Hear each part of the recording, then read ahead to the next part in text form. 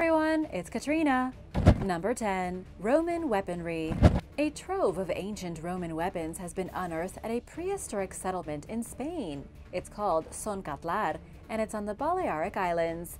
The site is famous for its preserved fortifications, as well as its deep Roman roots. Researchers surveying the ancient settlement found a small cache of Roman military equipment dating back to roughly the year 100 BC. These researchers, scholars from several universities in Spain, didn't just discover swords and spears, they found an entire arsenal projectiles, knives, arrowheads, and even ordinary military supplies like surgical implements and cooking equipment. Son Catlar was occupied by the Talayotec people and was the largest of their settlements. It boasts a perimeter wall of nearly 3,000 feet around that's the size of an NFL football field. It also had Talayots towers, which are what gave this prehistoric society its name. So how did Roman weapons end up in the settlement of a relatively unknown ancient society? It was all because of their conquests. Roman soldiers conquered and occupied this Spanish island, wiped out most of the people, and garrisoned themselves there for decades. The whole place was eventually abandoned, and the Romans left a lot of their fighting supplies behind. The Romans weren't the last people to occupy the islands. After the defeat of the Romans, the Vandals came. They were a Germanic tribe who sacked Rome, battled the Huns and the Goths, and founded a kingdom in North Africa. That empire flourished for about a century until it fell to an invasion force from the Byzantine Empire. History has not been kind to the Vandals. Then the Moors took control of the island, and finally the Spaniards, and all left their mark on this ancient settlement. Number 9. Fish Scale Armor Inside a Chinese tomb, archaeologists uncovered fish scale armor, once worn by an ancient warrior. Researchers believe this fascinating armor is a rare example of blended technology between the East and West from 2,500 years ago. The armor is quite complex. It's made of over 5,000 overlapping leather scales, complete with intricate and expert craftsmanship. The warrior who once wore this incredible armor had probably put the garment on like an apron.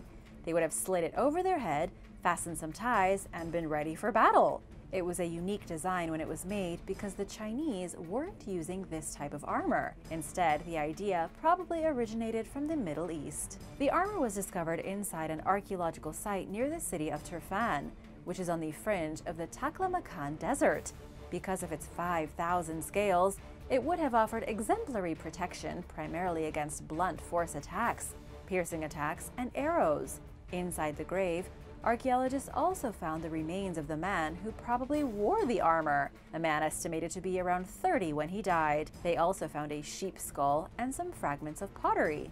Now here's something really cool about ancient scaled armor. The material used for the scales varied dramatically. Sometimes they used pangolin scales, or paper, bronze, iron, and even leather from various cattle-like animals. Each material offered distinct advantages and disadvantages. They would even make these armor sets for their horses to protect them when they rode into battle. The Egyptians used scale armor, like a piece found in the tomb of Tutankhamun, and the Scythians used similar armor, and so did the samurai in feudal Japan. Number 8. Three generations of women warriors. Inside a Russian tomb, archaeologists have discovered three generations of ancient Amazonian women warriors. According to the Russian Institute of Archaeology, their researchers uncovered the remains of four Amazon women, each a different age, but all buried in the same tomb. It's the first time in history that this kind of surprising discovery has been made. One girl was between 12 and 13 when she died, the second was between 20 and 29, the third between 25 and 35, and the fourth was between 45 and 50. That's three generations of Amazonians. How do we know they were warriors? It's all because of items discovered at the burial site. Archaeologists uncovered iron arrowheads, knives, animal bones, horse harnesses, and hooks made from iron. Since they were from the 4th century BC, the artifacts help to date the burial. The artifacts also suggest that these women were warriors.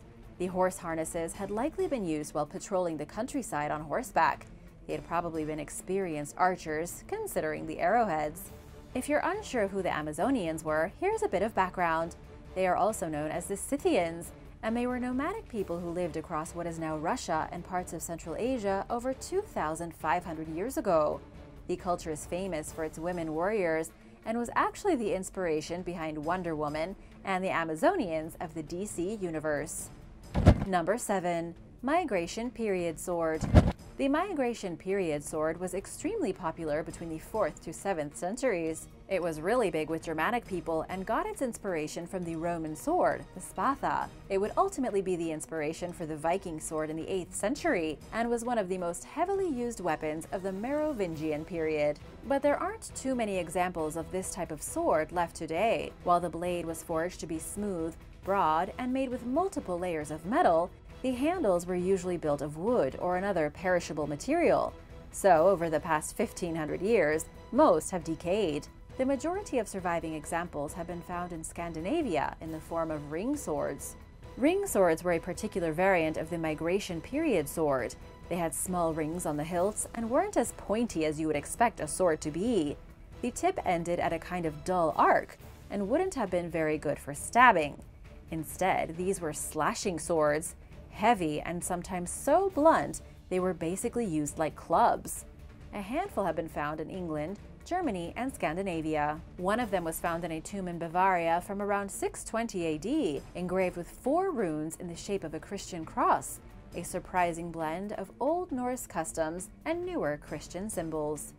Number 6. Tang Dynasty Armor in 2019, archaeologist Zhang Wei was investigating a mysterious tomb complex found in China. When he entered the burial room, he discovered a massive iron object lying on the coffin bed. He didn't immediately recognize it, but he soon found out exactly what it was the only complete set of iron armor from the Tang Dynasty ever discovered in the country. This was a fascinating find, as the warrior's armor was crafted sometime between 618 and 907. It was such a rare discovery that it was taken away to a lab, where for nearly two years, archaeologists painstakingly went through the restoration process to bring the armor back to its former glory. The complete set consists of over 2,000 individual iron plates, and in the beginning, the restoration team had no clue how to put them back in the right order. They had to look at historical documents, ancient murals, and other visual aids for help. It was kind of like trying to figure out a 2,000 piece puzzle by looking at the picture on the front of the box.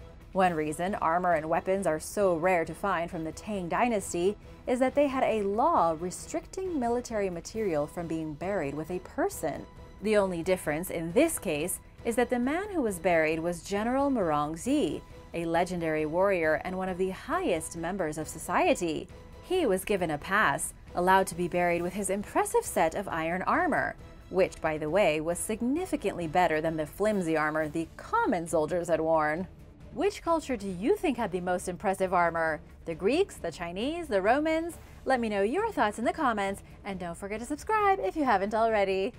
Number 5. Forgotten Warrior Tribe in a medieval cemetery in eastern Poland, archaeologists recently discovered some very rare warrior weapons swords, spears, knives, along with hundreds of other fragmented items. What makes this discovery unique is that the weapons belong to a famous warrior culture from 1,000 years ago called the Jotvingians. They lived in the Suwalki region of Poland, a Baltic people with cultural ties to both the Prussians and the Lithuanians. Yet they spoke their own unique language, kind of like Old Prussian, but a little different. These fearsome warriors had a good run during the Middle Ages, but like so many small cultures, were absorbed into the larger Slavic and Germanic cultures that surrounded them. This discovery of weaponry came from the biggest Jotvingian cemetery from the Middle Ages. According to archaeologist Jerzy Siemaszko, they occupied this area between the 11th and 13th centuries and used this enormous cemetery for burial rituals. They would create massive funeral pyres,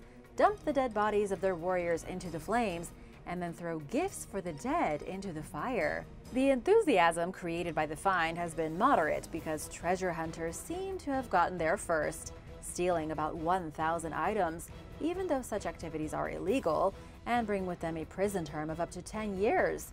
The region of the discovery is now protected, and its location is kept secret to prevent further theft. Number 4. The Golden Sword The burial site of an ancient nomadic warrior was recently found in Ukraine. Within the burial, a remarkably well-preserved short sword gilded with gold was found. The archaeologists were working at Mount Mamai, a massive burial site north of the Black Sea, and one of the biggest in the entirety of Europe. It was used for several thousand years, from the start of the Stone Age to the introduction of the Classical era. There have been over 700 individual burial sites found at Mount Mamai, at least 400 of which are Scythian. This place is so big that for 32 consecutive seasons, archaeologists have been busy digging up graves.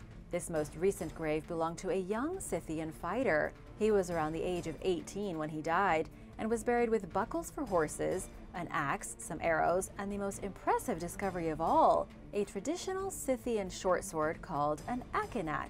Even though the weapon was heavily corroded, it was still in decent condition. It was once gilded with gold, suggesting the warrior who wielded it was also a young man of great wealth and prestige, and he was only 18 years old. The items have been removed for further investigation and preservation. All the artifacts, including the gilded short sword, will ultimately be put on display at the Museum of Local History. There are more digs planned at the massive site and more burial places and treasures to be found. Number 3. Lost Roman Dagger Nico Calman, an archaeology intern with the Westphalia Department for the Preservation and Care of Field Monuments in Germany, that was a mouthful, made a fantastic discovery. He came across a silver Roman dagger dated 2,000 years old, and this was no ordinary ornamental dagger. It was likely used in the 1st century AD while the Romans waged war against a Germanic tribe in the north. The knife was found still in its sheath, buried in the grave of a warrior at the archaeological site of Haltern at the lake. The dagger comes from the Augustan period between 37 BC and 14 AD.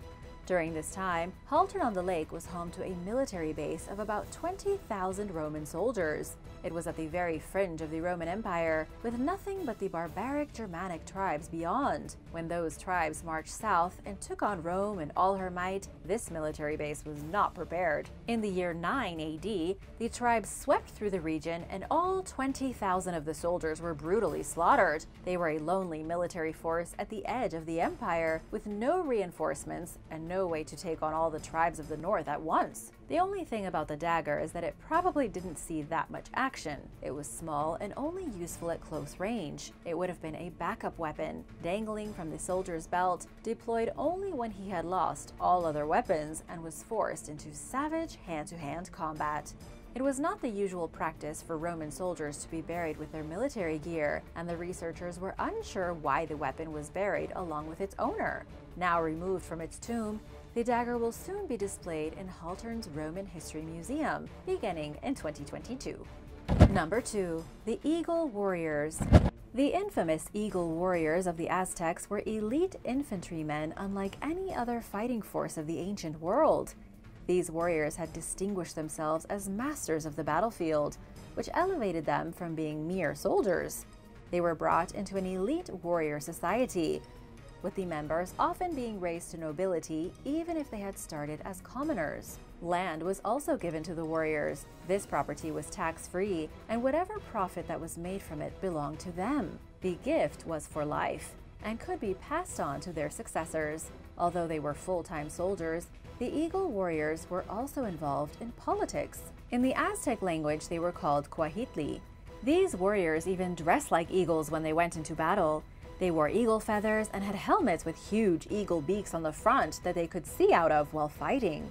Out of all of the warriors I've told you about, the Aztec Special Forces were some of the most terrifying to behold on the battlefield. They had quilted cotton armor decorated in eagle fashion and a round shield adorned with many feathers. It was no simple task to become an eagle warrior. While we don't know for sure what all the requirements were, we have some idea. Most sources agree that a single warrior needed to capture at least 20 enemy warriors within two consecutive battles, and they had to capture them alive. Number 1.